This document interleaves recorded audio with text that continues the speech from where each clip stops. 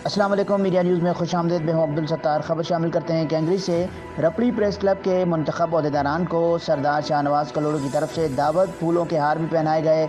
हर तरह का साथ देने का भी वादा। तफसीत के मुताबिक प्रेस क्लब रबड़ी के नए साल के मंतखब अहदेदारों को कलोड़ा बरदरी के सरदार शाहनवाज कलोड़ों की तरफ़ से अपनी रानीपुर की रहायशगाह पर दावत दी गई, जिसमें मंतखब उम्मीदवार सदर न्याज मोहम्मद ख्वाजा सीनियर नायब सदर Sanaullah Panwar, general secretary Asif Kalodo joint secretary Ghazi Korai, press secretary Awais Ali Gulal, खजानची Mir Hasan Kandro, office secretary Ali Nawaz Panwar, Khush Mohammad Khwaja press club Dar Mir, mayor Shah Yasin Kandro Mohammad Achar कलोड़ों को फूलों के हार पहनाए गए और सिंध की सूखड़ी अजरक पेश की गई।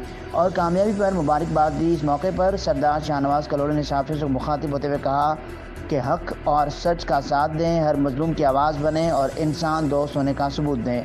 हमारा आपसे हर किस्म का साथ रहेगा। मज़ीद खबरों और उनकी अपडेट्स के लिए मीडिया न्यूज़ को सब्सक्राइब कीजिए और बेल आइकन प्रेस कीजिए।